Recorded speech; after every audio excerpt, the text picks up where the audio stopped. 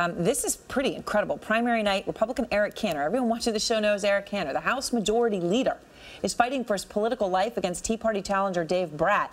Uh, no one saw this coming. Cantor was expected to come out on top. Right now, though, 68% of the precincts reporting. Cantor is at 44% of the vote. Dave Brat, 57. This this is if if this continues along the trajectory that, that it's looking like right now, Erin, this will send shockwaves through Washington. I mean, this will truly be an incredible upset. There are a couple things here. One, Cantor comes from a very conservative district. When he's leading the House, you know, he's he's put himself as being sort of the the van, uh, at the vanguard of the Tea Party. However, he has recently tried to take steps towards yeah, moderating is a controversial word, but but trying to stream, streamline and mainstream the Tea Party towards you know moving potentially towards immigration reform. This could this could absolutely derail uh, the, the any any chances for immigration reform uh, because because I think that was trying to go on behind the a scenes right now. left would say Eric Cantor was not known at all for compromise. I mean, you know, so so if this goes this way, are we now saying that even Eric Cantor, who is not known for massive compromise, is too much of a compromiser this will also for be the a story? On, it will also be a story on polling because most of the polling beforehand did not show that he yeah. was actually this vulnerable. And I, this is shocking to me that 60% of, of, the precincts reporting. Let, let, me just bring in Mark Preston, who runs uh, is in charge of our polling here at CNN. Mark, what about that point that,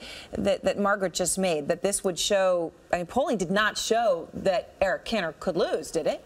No, certainly. It didn't show that it was could lose. And, and, the fact is that Eric Cantor was spending a lot of time in, in trying to make sure that he had secured his right flank. Now, his uh, opponent right now, Dave Brat, who's leading, uh, was running from the right, trying to paint Eric Cantor as being too moderate, not conservative enough, uh, specifically on that immigration issue. Now, this would not only be uh, terribly surprising tonight, this will be the upset uh, of the year if it continues on and Eric Cantor does not win uh, his Republican primary. A couple things to keep in mind. Eric Cantor is the majority leader in the House he really is like on a trajectory to become the next Speaker of the House if John Boehner is to leave and Republicans were to maintain control. So this is an amazing thing we're seeing unfold very quickly right now, uh, just south of us, right north of Richmond.